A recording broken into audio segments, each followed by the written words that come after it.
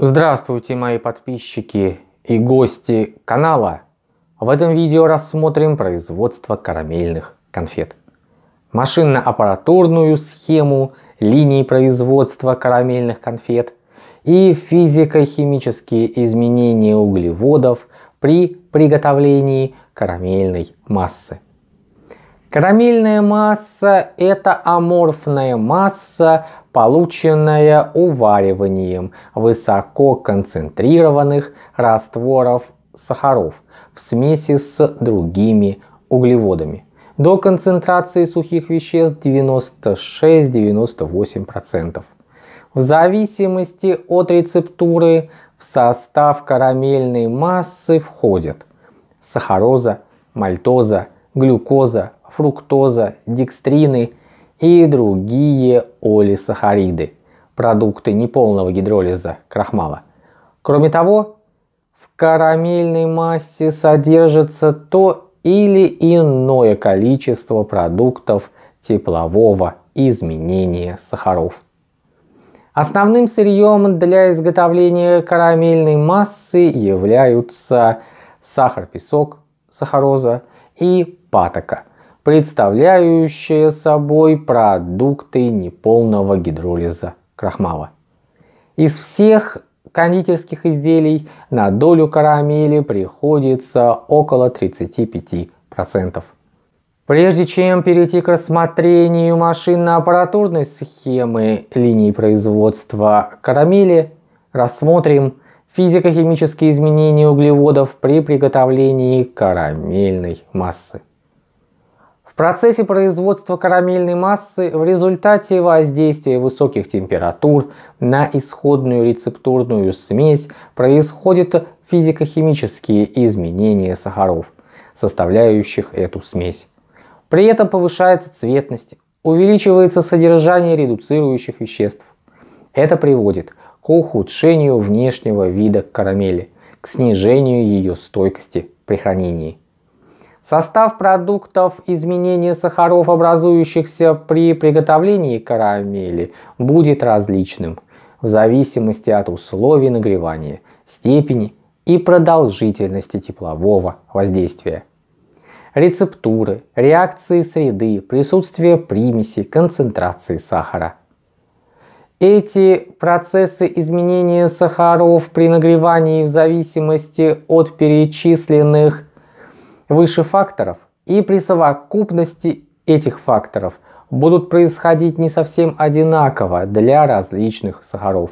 Однако, основную схему химических изменений моносахаров – в частности глюкозы, при ее нагревании в кислой или нейтральной среде можно представить в следующем виде.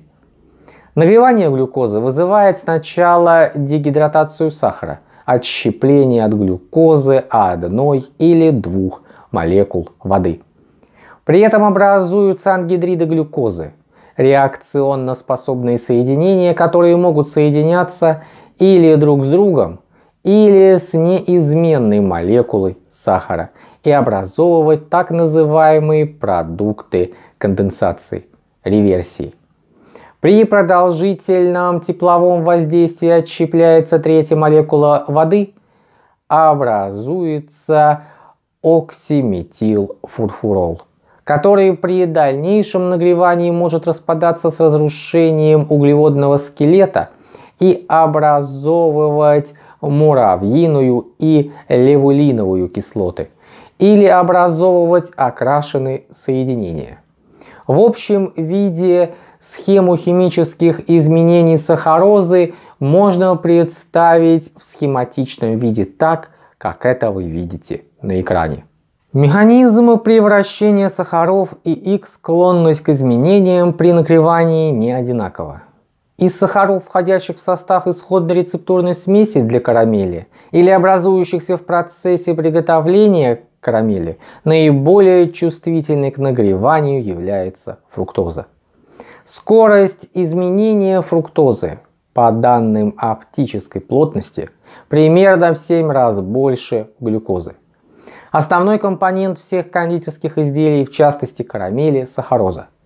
При нагревании в слабокислой или нейтральной среде подвергается инверсии с образованием двух молекул монос – глюкозы и фруктозы. Так как сахароза обнаруживает свойства слабой кислоты, константа ее электролитической диссоциации при 25 градусах Цельсия равна 3 умножить на 10 в минус 13 степени, то при нагревании может происходить ее инверсия без добавления кислоты, самоинверсия сахарозы. Тотчас при появлении монос ускоряются процессы их дегидратации. Происходит образование продуктов изменения сахароз, имеющий кислый характер, которые в свою очередь ускоряют процессы инверсии сахарозы и других углеводов. При нагревании сахаров невысокой концентрации 10-30% легко образуется оксиметилфурфурол, в то время как при нагревании высококонцентрированных растворов 70-80% концентрации он образуется с трудом. Продукты конденсации, наоборот, образуются в больших количествах при нагревании концентрированных растворов сахаров и особенно при их плавлении. При изготовлении кондитерских изделий и в частности карамели обычно нагревают высококонцентрированные смеси сахаров 75-80%. Поэтому основную часть продуктов изменения сахаров при этом составляют ангидриды сахаров, продукты конденсации и незначительную часть продукты глубокого изменения сахаров. Продукты изменения сахаров, образующихся при изготовлении карамели, ухудшают ее качество, повышают цветность и гигроскопичность. Однако среди продуктов изменения сахаров имеются также такие, которые положительно влияют на устойчивость карамели против кристаллизации. К ним относятся так называемые первичные продукты, к которым условно относят смесь, состоящую из ангидридов сахаров, продуктов конденсации, реверсии. Для оценки стойкости карамельной массы против засахаривания в НИИ кондитерской промышленности был предложен метод определения так называемых легко гидролизуемых ангидридов, таких соединений, которые способны при слабокислотном гидролизе подвергаться расщеплению. Этими соединениями могут быть диангидриды сахаров, соединение ангидридов с неизменными сахарами и другие продукты конденсации. Качество сырья, используемого при приготовлении карамельной массы, оказывает влияние на процессы приготовления и стойкость карамели. Установлено, что стойкость карамели против засахаривания и ее гигроскопичность то есть способность поглощать влагу из окружающего воздуха, зависит от содержания в патоке редуцирующих веществ, от состава золы, активной кислотности патоки pH, содержания в патоке белковых азотистых веществ. Большое влияние на качество карамели оказывает содержание в патоке редуцирующих веществ, в частности содержание в ней глюкозы. Сухие вещества обычной патоки состоят из 20% глюкозы, 20% мальтозы и 60% декстринов. Низкосахарная патока имеет значительно меньшее содержание глюкозы, порядка 9-13%. Установлено, что со снижением количества глюкозы в патоке стойкость карамели при хранении повышается. С этой точки зрения наиболее подходящей для производства карамели будет низкоосахаренная патока, изготовленная кислотно-ферментативным гидролизом крахмала. Весьма нежелательным является присутствие в патоке азотистых веществ, которые даже при содержании их в незначительных количествах порядка сотых и тысячных процента повышают цветность карамели приводит к образованию продуктов взаимодействия сахаров с азот содержащими соединениями меланоидинов. Высокая зольность патоки также неблагоприятно отражается на качестве карамели. Имеется определенная зависимость между pH патоки и ее инверсионной способностью, то есть способностью к образованию редуцирующих веществ в процессе производства карамельной массы. Инверсионная способность патоки зависит не только от pH, но и от других показателей. От солей, несахаров, которые ослабляют действие катиона H. Это буферное действие различно у различных видов патоки и меняется в зависимости от количества и состава солей. Уже было отмечено, что общее количество минеральных солей в патоке не должно превышать 0,4%. В зале патоки могут присутствовать следующие катионы и анионы. Кальций, калий, натрий, феррум, О, P2O5 и другие. Чем меньше инверсионная способность патоки, тем ценнее она для карамельного производства. Так как образующаяся при инверсии сахарозы фруктоза является очень нежелательной составной частью карамели. А теперь мы переходим к рассмотрению машинно-аппаратурной схемы линий производства карамели. Вместе с машинно-аппаратурной схемой мы разберем кратко технологию производства, заострим внимание на некоторых особо важных процессах в машинно-аппаратурной схеме. Итак, основным сырьем для производства фруктово-ягодной карамели являются сахар, патока и фруктово-ягодные заготовки. К основному сырью добавляется вода. В результате последовательной обработки сырья на различных машинах и аппаратах получается карамель с начинками. Сахарный песок из мешков, силосов или сахаровозов загружают в норию 44 которая подает его в просеивательную машину 43. Здесь на сетах от сахара отделяются посторонние примеси. При движении просеянного сахара по лотку просеивательной машины с помощью постоянных магнитов из него удаляются ферропримеси.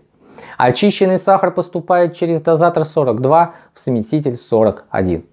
В этот же смеситель непрерывно в нужном количестве подается водопроводная вода, предварительно подогретая в аппарате 51. Патока сливается из автомашин в металлические баки 45, имеющие отделение 46, в котором расположены змеевики 47 с паром. Патока, заполняющая отделение, нагревается до температуры, при которой ее можно перекачивать насосом 48. Насосом патока подается в бак 49, где нагревается до температуры близкой к 90 градусам. Поршневой насос 50 подает в нужной пропорции патоку смеситель 41. Из смесителя плунжерный насос 40 нагнетает кашицеобразную смесь в змеевиковый растворитель 39. Затем сироп проходит фильтр 38 и стекает в закрытый сборник 37.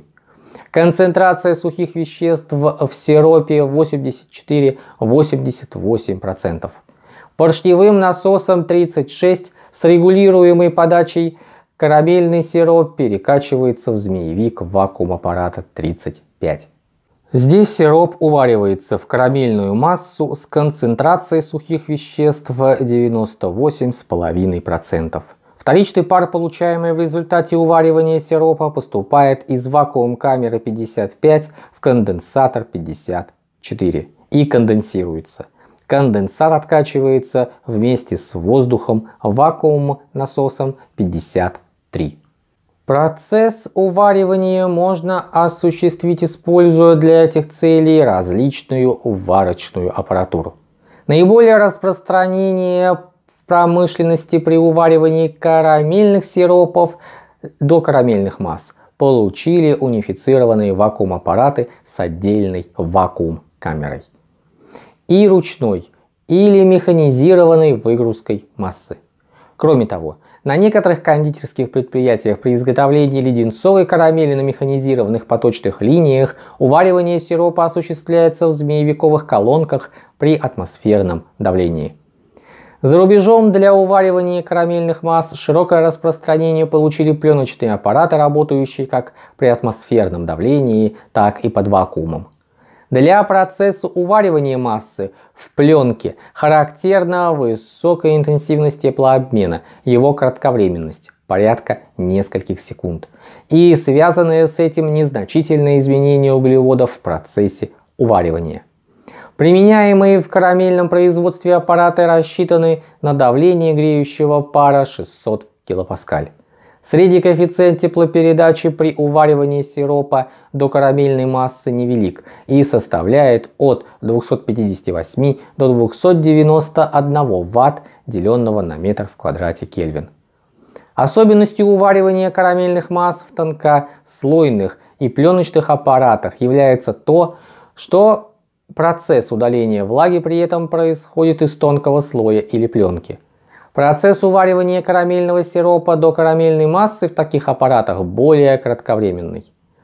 В зависимости от способов уваривания и рецептуры карамельного сиропа, конечные температуры готовой карамельной массы для достижения одного и того же значения содержания сухих веществ в массе будут различны.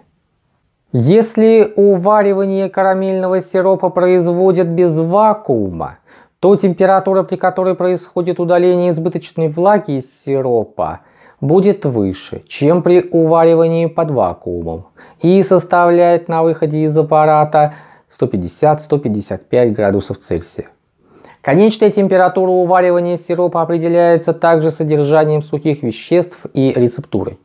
Так, при уваривании сахаропаточного сиропа температура карамельной массы на выходе из вакуум камеры составляет 124-126 градусов Цельсия. При уваривании сахара инвертного сиропа при прочих равных условиях температура карамельной массы будет равна 130 градусов Цельсия. При уваривании карамельных сиропов температура массы и продолжительность ее уваривания изменяются в зависимости от разрежения в вакуум камерах. Для получения высококачественной, светлой, стойкой при хранении карамели все процессы, связанные с воздействием на сахаропаточную смесь тепла, следует производить возможно более короткие промежутки времени. С этой точки зрения не безразличным является и давление греющего пара, и разрежение в вакуум-аппаратах. При повышении давления греющего пара сокращается продолжительность процессов уваривания массы – растет производительность. За рубежом для варки карамельной массы используют греющий пар под давлением 800 1000 килопаскаль. На качество карамельной массы большое влияние оказывает также величина разрежения в аппарате. При повышении разрежения значительно снижается и температура массы, что благоприятно влияет на качество карамели. Как ранее отмечалось, содержание сухих веществ в готовой карамельной массе в зависимости от того, для каких целей ее готовят, колеблется в пределах от 96 до 99%. Для изготовления леденцовой карамели массу уваривают до более высокого содержания сухих веществ 98,5-99%. Исключением является леденцовая карамель, которая формуется на карамели формующих агрегатах из М2. Для такой карамели в связи с особенностями формования на этих машинах карамельную массу уваривают до содержания сухих веществ 96-96,5%. При более высоком содержании сухих веществ в массе готовая карамель при прочих равных условиях дольше сохраняет свои аморфные свойства. Однако в связи с тем, что вязкость карамельной массы резко возрастает с повышением содержания сухих веществ, выработка такой массы, например, при изготовлении карамели с начинками, переслоенными карамельной массы, затрудняется. Поэтому для получения карамели с начинками содержание сухих веществ в карамельной массе несколько ниже. В зависимости от вида начинок, содержание сухих веществ в карамельной массе составляет от 96,5 до 98%. При приготовлении карамельной массы необходимо учитывать рецептуру карамели и ее состав, так как на структурно-механические свойства карамельной массы, например, на ее вязкость, пластичность, хрупкость, оказывает влияние рецептура, общее содержание сухих веществ и температура. Это, в свою очередь, влияет на процессы, связанные с обработкой массы на тянульных машинах, с формованием массы и так далее. Плотность карамельной массы также является функцией содержания сухих веществ и рецептуры и может быть вычислена по такой формуле.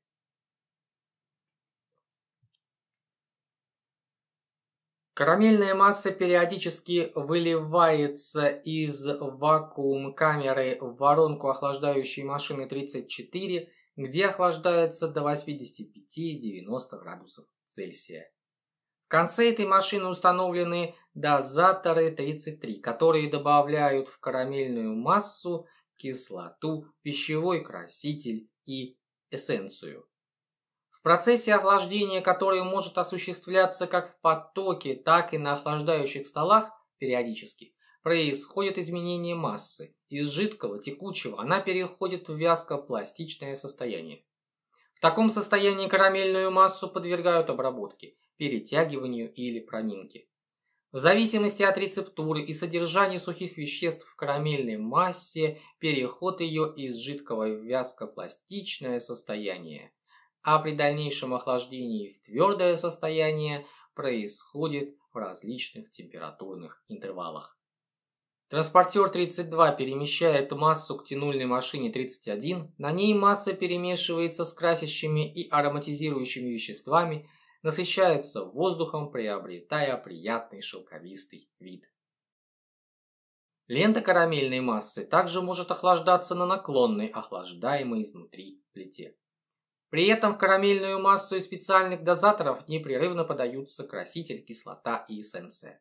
В нижней части плиты карамельная лента специальным устройством складывается в жгут таким образом, чтобы введенные в массу ароматические, вкусовые, красящие вещества оказались внутри ленты.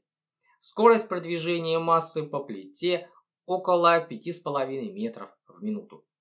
Известно, что карамельная масса является весьма неустойчивой системой. Сахара – сахароза. Входящие в ее состав стремятся принять свойственное им кристаллическое состояние. При этом скорость кристаллизации сахарозы зависит от скорости охлаждения и с понижением температуры, повышением вязкости быстро падает. Поэтому необходимым условием при изготовлении карамели является ее охлаждение в возможно более короткие сроки. Для подкрашивания карамельной массы используют специальные разрешенные органами здравоохранения красители. Из искусственных красителей разрешен тартразин, желтый. Из натуральных красителей для подкрашивания подкисляемой карамели применяют энокраситель, красный, получаемый из выжимок винограда. Отходов при получении соков и вин. При сочетании нескольких красителей в различных соотношениях можно получить зеленые, оранжевые и другие цвета.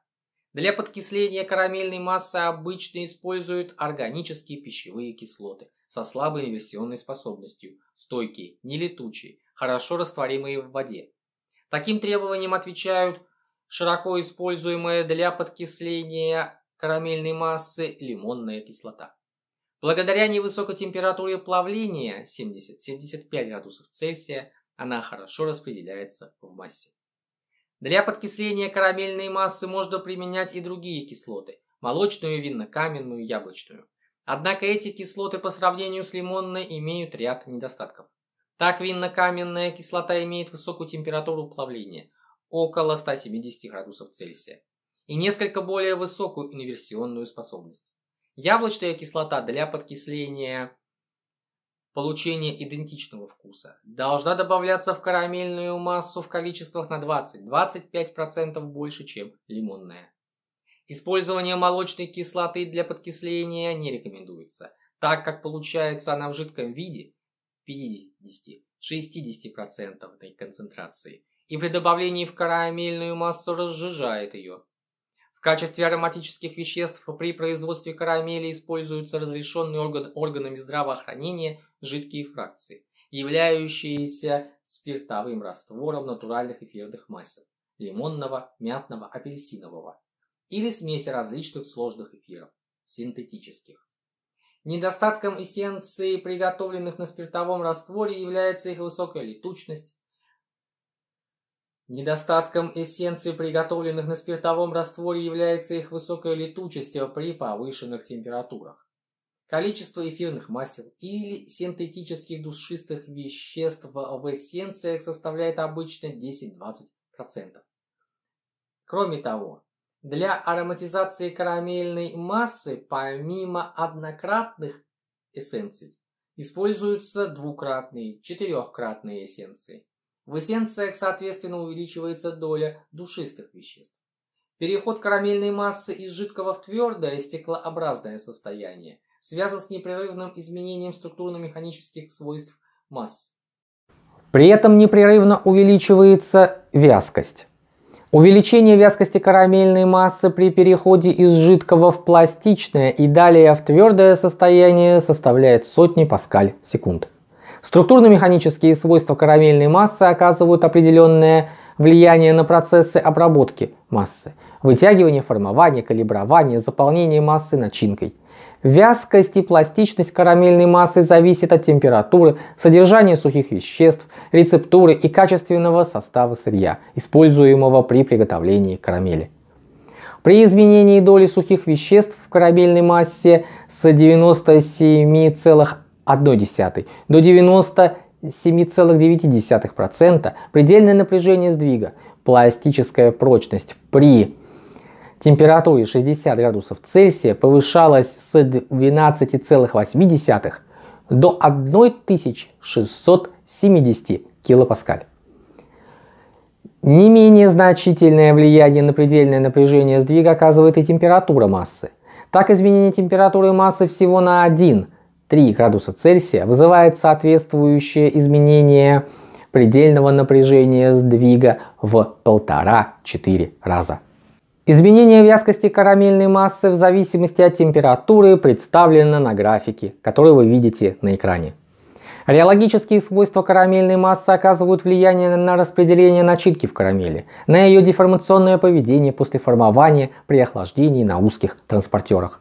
Наилучшими условиями процесса формования являются такие, при которых карамельная масса легко принимала бы определенную, заданную форму, и в то же время обладала такими реологическими свойствами, при которых эта форма сохранялась бы, масса не расплывалась.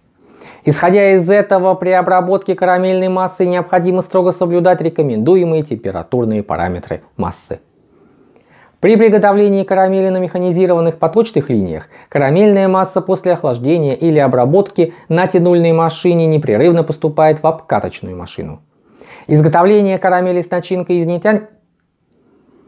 Изготовление карамели с начинкой с нетянутой карамельной массы осуществляется на наших фабриках полупоточным способом, так как пока еще не решен вопрос проминки массы в потоке после введения в нее вкусовых, красящих и ароматических веществ. После обработки массы на тянульной машине изменяется не только внешний вид массы, масса теряет прозрачность и приобретает блестящую шелковистость, но и ее но и ее структурно-механические свойства. При обработке карамельной массы в ней более равномерно распределяются введенные в нее добавки. А обычно температура карамельной массы, поступающей на обработку на тянульные машины, равна 88-90 градусов Цельсия. В процессе обработки происходит дальнейшее охлаждение карамельной массы до 80 градусов Цельсия. При этом сильно возрастает вязкость массы – в результате вытягивания в массу попадает большое количество воздуха и образуются воздушные пузырьки. При вытягивании снижается относительная плотность массы с 1,54 до 0,93 после 7 минут обработки. При увеличении времени обработки массы на тянульной машине более 7 минут происходит повышение относительной плотности массы, что можно объяснить разрушением тонких пузырьков и их слиянием. При обработке на тянульной машине происходит некоторое повышение влажности массы. Масса сорбирует до 1% влаги. Способность тянутой карамельной массы к поглощению влаги выше, чем не тянутой, что можно объяснить увеличением поверхности массы. Благодаря лучшей миграции влаги с поверхности во внутренние слои, тянутая карамельная масса менее липкая с поверхности, чем не. Склонность к кристаллизации тянутой карамельной массы также большая по сравнению с массой, не обработанной на тянульной машине. Транспортер 30 подает тянутую карамельную массу к обкаточной машине 17, которая придает ей форму конуса. Машина 29 вытягивает из конуса жгут определенного сечения с начинкой внутри. Штампующая машина 18 делит жгут на карамельки, придавая каждой определенную форму и оставляя рисунок на ее поверхности. Цепочка карамелек перемещается узким охлаждающим транспортером 28 к охлаждающему шкафу 27. На этом транспортере карамельки и соединяющих перемычки охлаждаются воздухом, который нагнетается в короб по воздуховоду 19. В шкафу 27 карамель охлаждается воздухом, нагнетаемым по воздуховодам 20, расположенным как со стороны входа, так и со стороны выхода карамели. Охлажденная карамель распределяется транспортером 21 на завертывающие машины 26, установленные вдоль транспортера по обе его стороны. Отводящие течки транспортера снабжены створками, с помощью которых регулируется количество карамели, поступающей в питатель завертывающей машины. С завертывающих машин карамель попадает на транспортер 22, в конце которого производится контроль качества завертки и отбор брака. Над лентой транспортера могут быть установлены продольные направляющие для предотвращения смешивания карамели, завернутой разными машинами. Транспортера 22 проверенная карамель переходит на наклонный транспортер 23 и поступает в бункер автовесов 24. Из автовесов карамель высыпается в короб 25, установленный на транспортере оклеивающей машины. Короб после упаковки поступает в экспедицию. Начинка, которой наполняется карамельный жгут, готовится так. Из хранилища 1 фруктово-ягодное пюре насосом 2 подается в десульфитатор 3. В нем заготовки размешиваются и из них удаляется сернистый газ. Пульпа собирается в размельчитель 4, а оттуда насосом 5 или при помощи вакуума передается на протирочную машину 6, в которой протирается через дырчатый барабан. Протертая пульпа из емкости 7 насосом 8 перекачивается в смеситель 9. В этот же смеситель насосом 52 подается сироп из сборника 37. Получаемая рецептурная смесь с влажностью 42% поступает в сборник 10, а из него насосом 11 подается в змеевиковый варочный аппарат непрерывного действия 12, где уваривается до влажности 19,5%. Из пароотделителя 13 выделяющийся вторичный пар отсасывается вентилятором. В случае уваривания в вакуум-аппарате вторичный пар поступает в конденсатор. Из пароотделителя начинка стекает в темперирующий сборник 14, где она смешивается с эссенцией и охлаждается до температуры, которая примерно на 10 градусов Цельсия ниже температуры карамельной массы в машине 17. После темперирования начинка поступает в начинка-наполнитель 16, который нагнетает ее по изолированному трубопроводу через непрерывно действующий фильтр 15 в карамельный конус, находящийся в машине 17.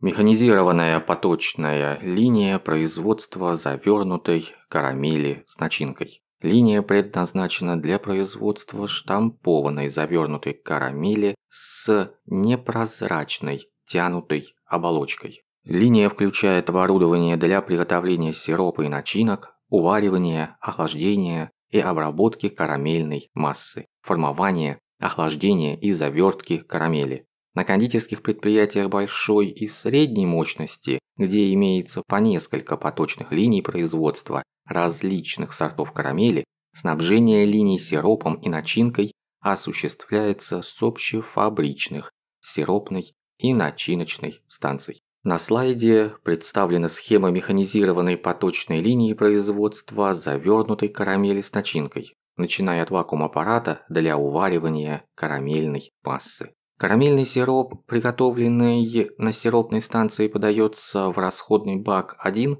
из которого он откачивается плунжерным насосом 2 и нагнетается последним в змеевик карамели варочного вакуум аппарата 3. Уваренный сироп из змеевика поступает в выпарную часть 5 вакуум аппарата, где происходит отделение вторичного пара.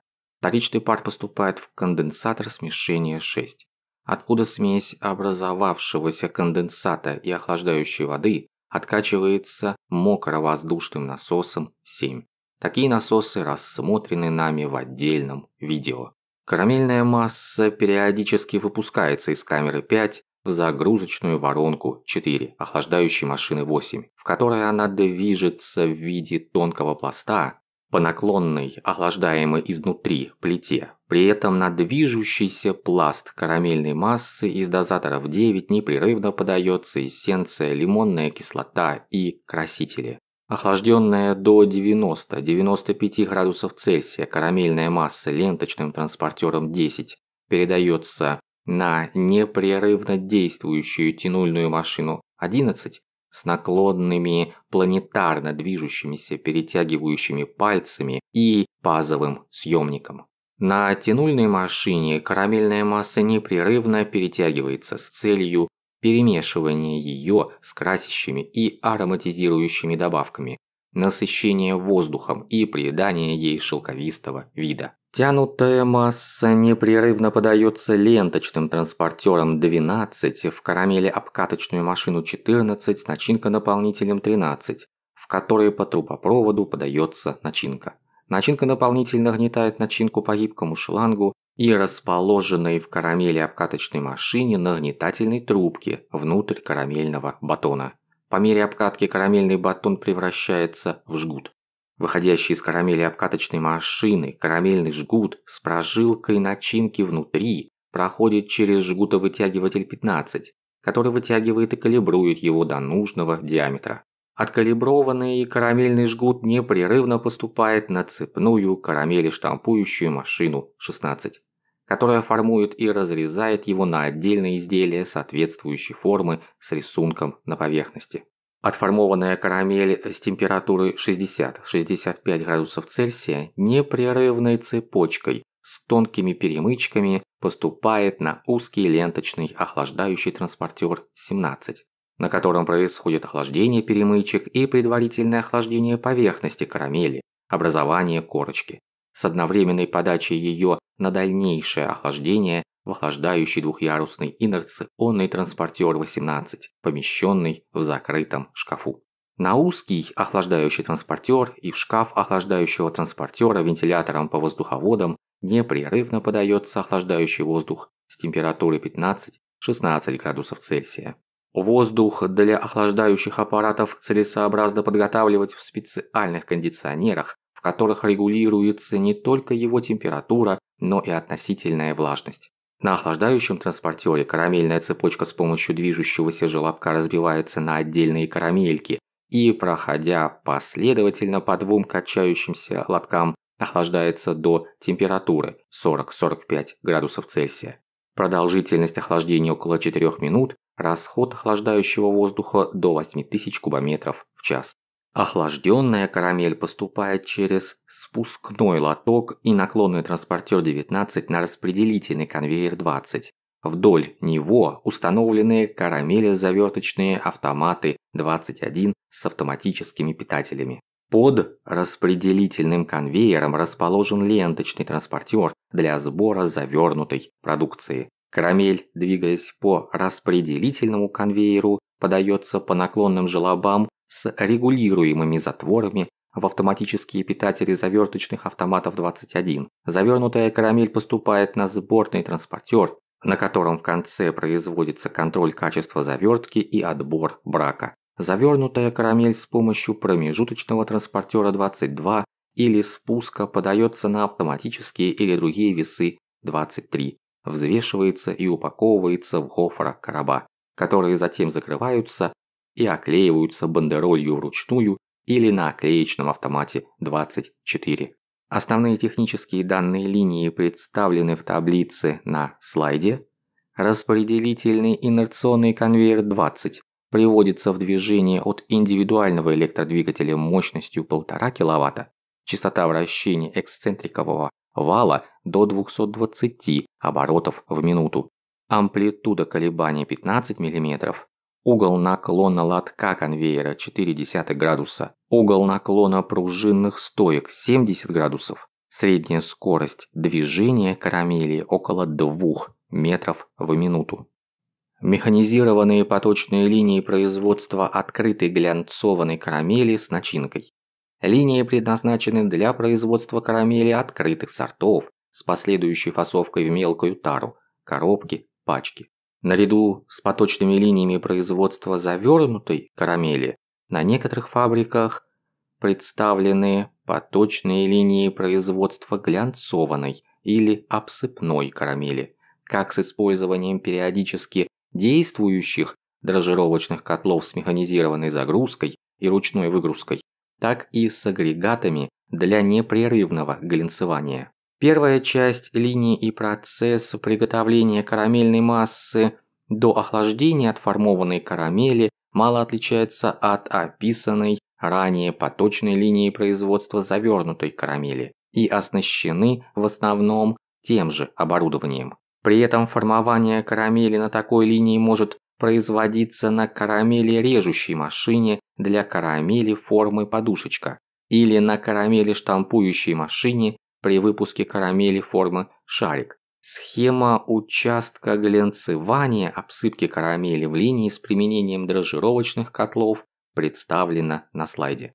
Карамель, полученная на поточной линии, аналогичной описанной ранее, после охлаждающего транспортера 1 поступает на распределительный качающийся конвейер 2, расположенный над дрожжировочными котлами 3. С помощью загрузочных желобов 4 карамель загружается в дрожжировочные котлы 3. По окончании процесса глянцевания или обсыпки карамели выгружают из котлов на наклонный вибрирующий лоток 5, отводящий ее на упаковку в короба или ящики, направляемые паралигангу 6 на взвешивание и в экспедицию. При обсыпке сахаром готовая карамель выгружается непосредственно в бункер для последующей упаковки. С целью механизации процесса глянцевания карамели был создан агрегат для непрерывного глянцевания карамели в потоке. Его применение позволило значительно улучшить условия труда и создать непрерывный механизированный процесс на этом участке поточной линии. На слайде показан участок механизированной поточной линии производства глянцованной карамели с агрегатом для непрерывного глянцевания УГК-3 и автоматом для фасовки глянцованной карамели в картонные пачки.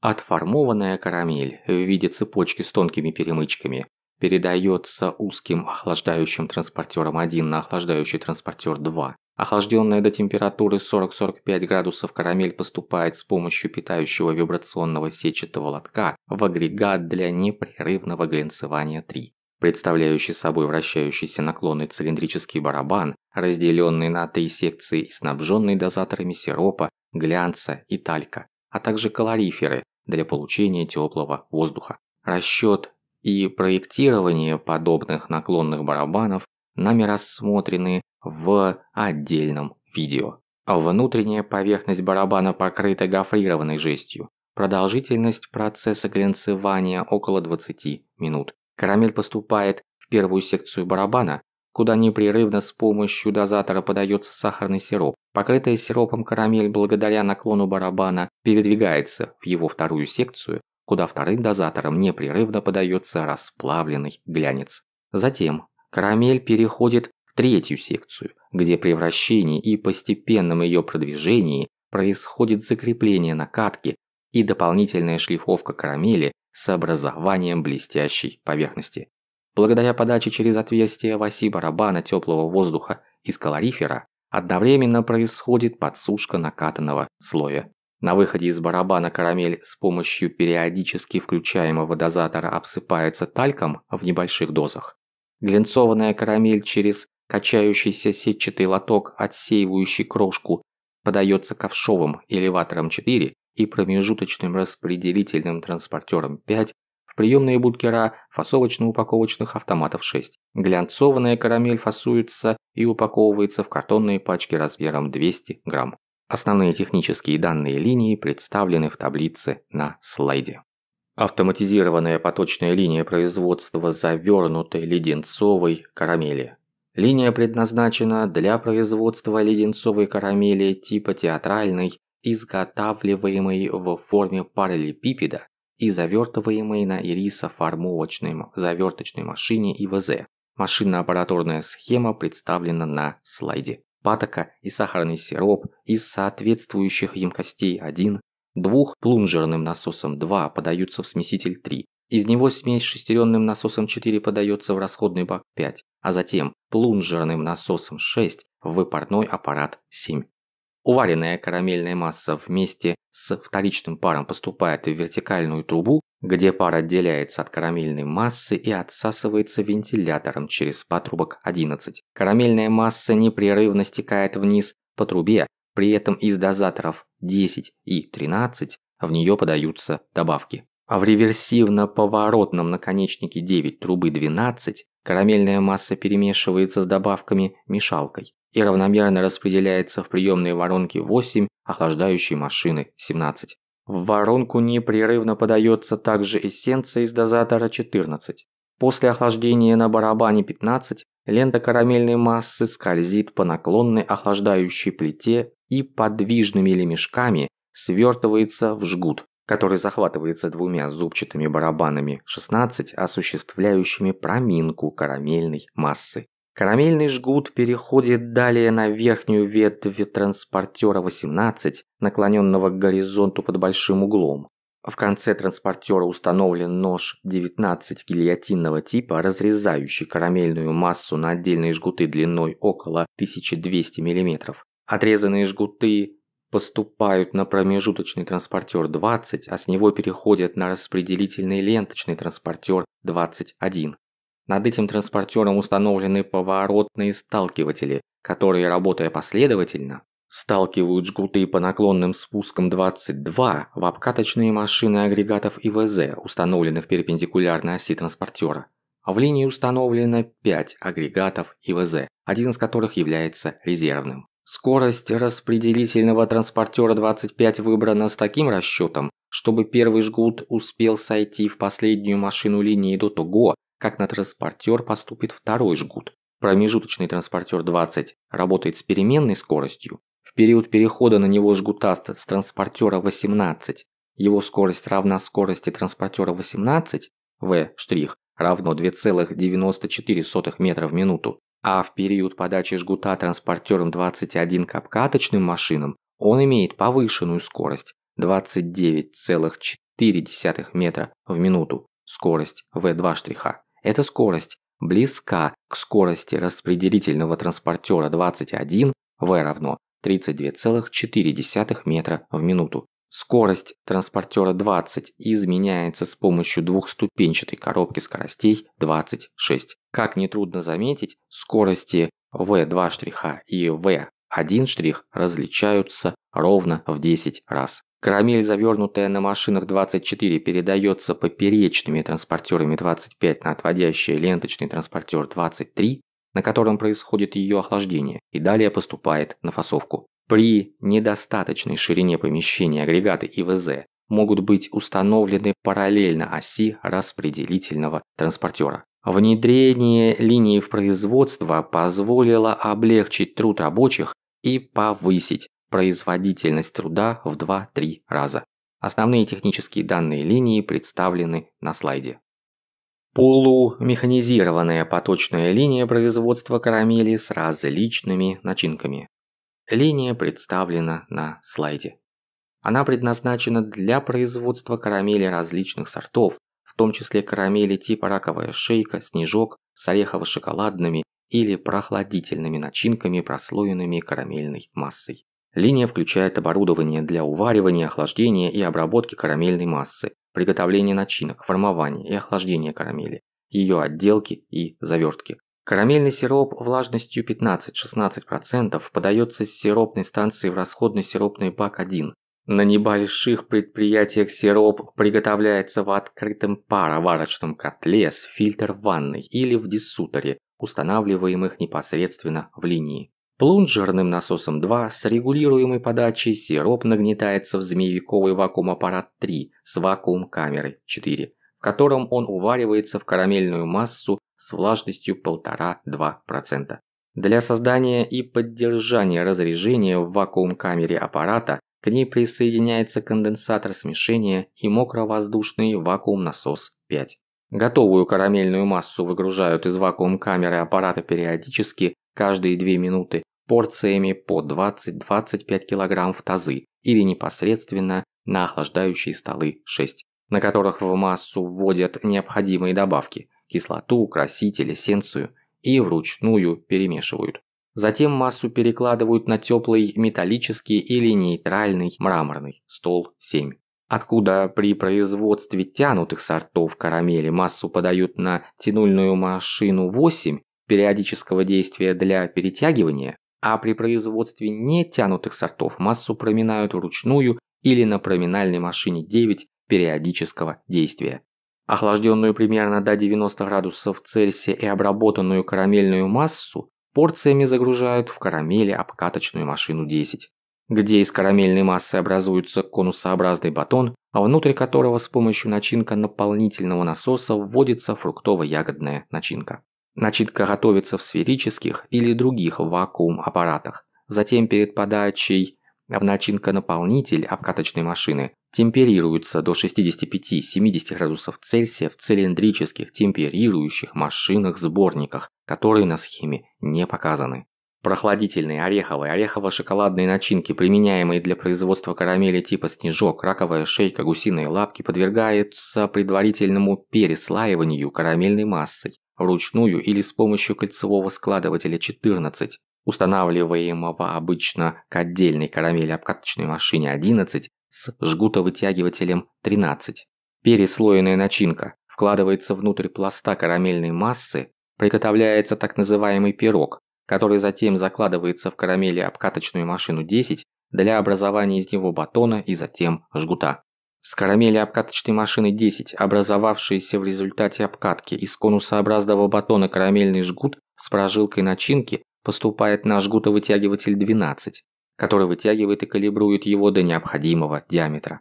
Затем откалиброванный жгут поступает на карамели формующую, режущую или штампующую машину 15, для формования из него карамели.